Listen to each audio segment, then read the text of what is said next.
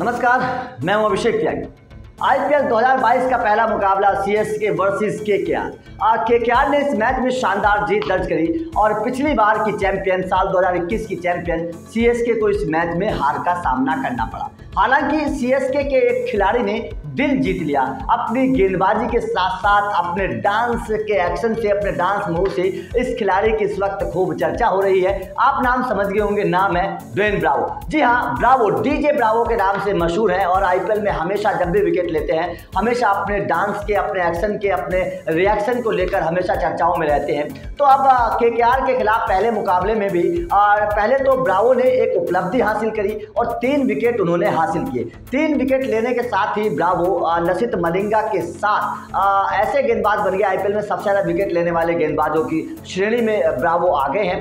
लसित मलिंगा के साथ साथ दोनों एक ही पायदान पर हैं। लेकिन जिस वक्त ब्रावो विकेट ले रहे थे, उस वक्त जो उनका डांस का जो एक्शन था, जो मूव थे, वो इस वक्त सोशल मीडिया पर खूब वायरल हो रहे हैं। और आईपीएल ने भी अपने इंडियन प्रीमियर लीग ने भी अपने ट्विटर हैंडल पर ब्रावो की एक वीडियो पोस्ट करी है। जिसमें ब्रावो विकेट लेने के बाद डांस करते हुए नज़र आ रहे हैं और इस वीडियो को लोग अब खूब पसंद कर रहे हैं। हर कोई ब्रावो के इस अंदाज का आ, फ़ैन हो गया है क्योंकि ब्रावो आईपीएल में पहले भी जिस तरीके से विकेट लेने के बाद अपने डांस करते हैं अपना अंदाज दिखाते हैं वो आ, हर किसी को पसंद आता है और सोशल मीडिया पर ब्रावो इसके लिए खूब जाने जाते हैं और खूब फैंस उनको पसंद भी करते हैं। आ, वैसे आपको ब्रावो के बारे में बताएँ तो ब्रावो चेन्नई सुपर किंग का काफ़ी लंबे इस वक्त से हिस्सा है। इस बार भी चेन्नई सुपर किंग ने उनको बेशक रिटेन नहीं किया था लेकिन मेगा ऑप्शन में चेन्नई ने ब्रावो को अपने साथ रखने का फैसला लिया और पहले ही मैच में ब्रावो ने दिखा दिया कि उनके अंदर दम है।